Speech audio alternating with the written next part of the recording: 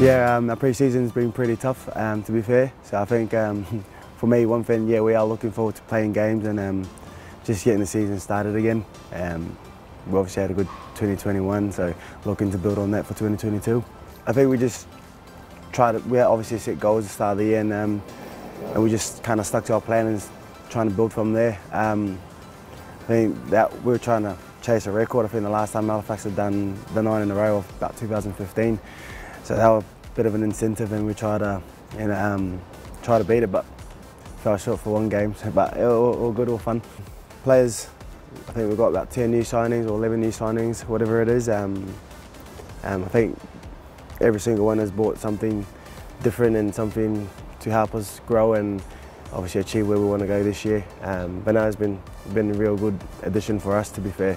Um, see what we do this year with, with all these new signings. Uh, yeah, he's, he's fitting pretty well actually. Um, call him Flying Wombat.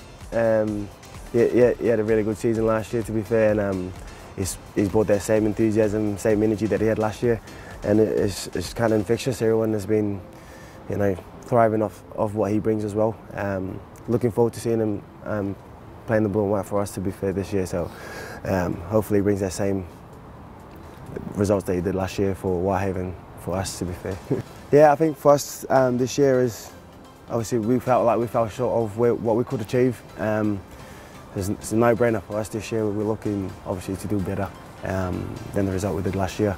Um, but obviously can't look too far ahead, just build on what we've got and hopefully it falls come playoff time where we want to be.